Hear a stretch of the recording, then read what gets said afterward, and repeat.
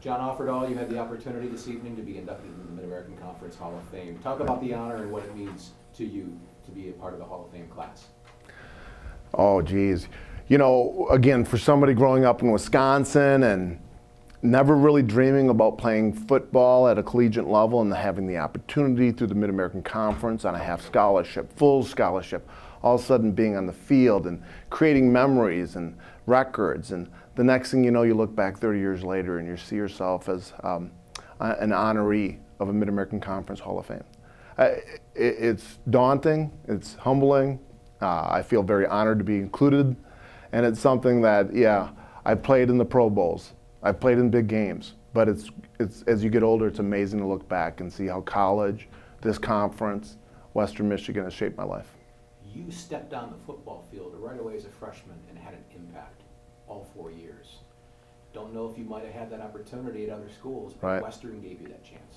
Right. Well, don't forget, Western gave me a half scholarship. I mean, I wasn't on the radar. And, and if I was, I was 185, 190 pounds. Uh, too light for the bigger the leagues, the bigger teams. Western Michigan reached out to me. I believed I could play Division One. The first practice, I, I, you know, you go up against the competition, you start dreaming and seeing and realizing and believing, and that conference, that college, gave me that platform, and I found myself first game starting captain of the Western Michigan Broncos. How did Western Michigan prepare you for your eventual career in the NFL and those Rookie of the Year honors and all those Pro Bowls. How did it prepare you for the next? Well, a lot of it had to do with the coaching staff that came in with me. Jack Harbaugh, obviously we know him now. Back then we didn't. I did.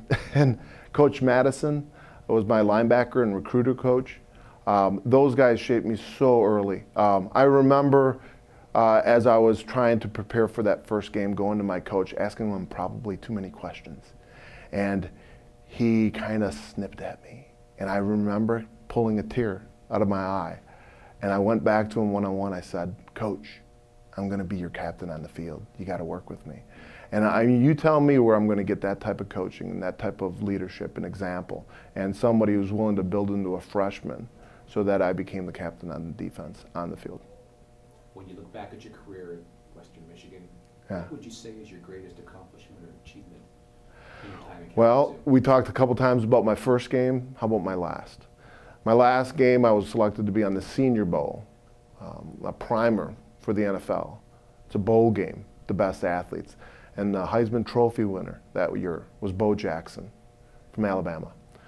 And uh, early in the week of practice, they started teeing me up to be the linebacker to stop Bo on his dive into the end zone on fourth downs. And when it came up in the game twice, I ended up being on the top of the pile which is great because you got a Western Michigan helmet next to the Heisman Trophy winner. And uh, the picture is frozen, and thank goodness someone took it. And it's a great example of where a college and a player can go in this league. And that is, you know, play with your heart, get the right coaching, and you can stand up against the Heismans of the Alabamas and the bigger leagues.